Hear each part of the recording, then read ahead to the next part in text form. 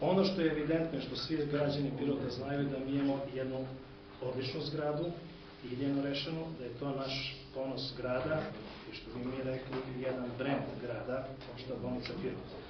Projektant opšte bolnice Pirot je isti arhitekta koji je radio i Vojno-medicinsku akademiju, to je ljudima poznato, ali nije normalno da podsjetim.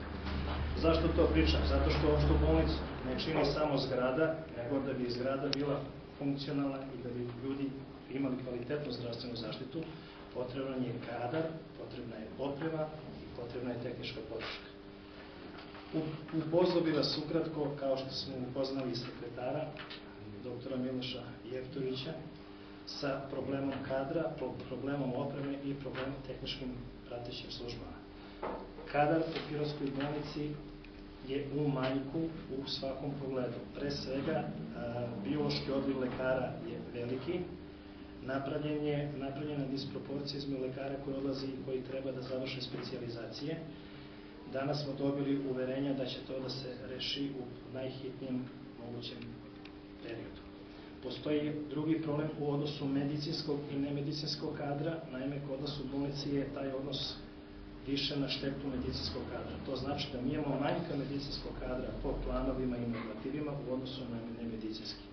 Taj problem će u nekom periodu da se rešava zato što je nemoguće nekom dati otkaz, nekom smeniti s mesta ili napraviti neki veći problem koji bi mogao da ima posledice po bolnicu. Što se tiče opreme, oprema nam je uglavnom zastarela, česti su kvarovi koji su skuplji, pa ispadne da nam je održavanje opreme skuplje nego nabavka novih aparata. U najavi su uz pomoć ministarstva da se stignu novi aparati i novi uređaji, što će značiti i nove edukacije koje trenutno nemamo.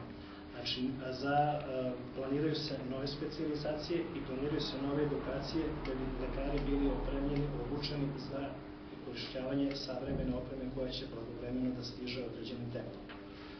Što se tiče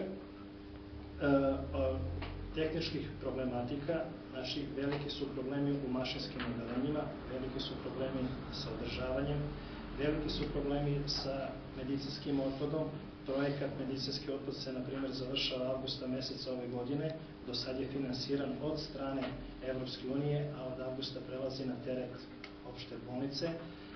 Uz nedostatak kadra, u nedostatak sredstava, to će postavljati određeni period. Što se tiče naše kotlarnice, veliki su problemi, nije servisirana, nije održavana, tako da stižu opet sredstva iz ministarstva da se u toku letnje sezone odrade remonti koji su nam potrebni za grejanje i za održavanje sistema. Vozni park je isto problematičan, 50% je otpisano, što bi rekli, a od ovih 50% automobila, kombija i svega što imamo, još 50% čeka otpis, što bi se rekao svakog dana su problemi koji mogu da nastanu.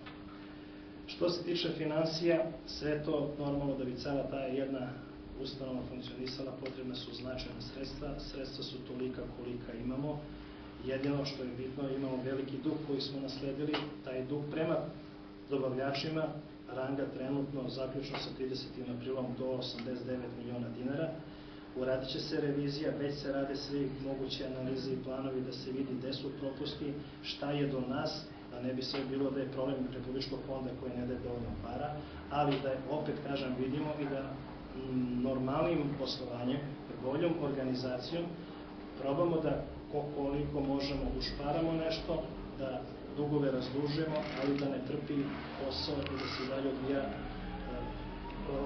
lečenje pacijenata u najbolje moguće meri. A ono što pacijente naše bolnice zanima da su počete prve mere u smislu poboljšanja kvaliteta rada. Prve, prve liste čekanja koje se smanjuju su na radiologiji, tako da od 2,5 do 3 meseca koje su već postojale, pravi se paralelna lista i proširuje se sadašnja lista, tako da nam je trenutno najduže zakazivanje do 32 dana, opet prevazilaze naše želje i planove, jer ne treba da bude više od 30 dana. Tu nam je opet problem i kadar i oprema. Imamo jedan ultrazvučni aparat, validan koji treba da završi posao i bez obzira što ima dva, tri lekara, oni moraju da čekaju jedan drugog. Sada za par meseci stiže još jedna neka specijalista i sa novim aparatom očekujemo da ta lista čekanja od septembra meseca već bude do 3 do 5 dana, što te, čemu težimo, koliko je potrebno za pripremu za pregled. Znači da jednostavno dođemo u situaciju da više nema pravo zakazivanja u pravom smislu reči, nego pacijent dođe samo da se dobije informaciju šta je potrebno za pripremu i do narednih tri dana bude pogled. Smanjuje se lista čekanja za ultrazvuk srca, što isto zanima pacijente. Isto smo sišli na manje od 30 dana.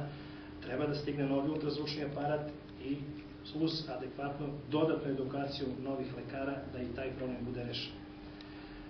U planu je da se obnovi saradnja sa klinikama i sa konsultantima koje, po kojoj naša bolnica bila prepoznatljiva do sada.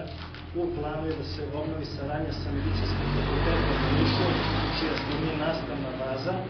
Kad sve to budemo dobili, bit će nam lakše i da se edukujemo, bit će nam lakše i da naši lekari odu sa strane, kako mi kažemo, ali da dođe eminentni stručnjaci u našoj bolnici koji bi ovde pružili usluge koje naši pacijenti zaslužuju, a samim tim bi naši lekari bili edukovani.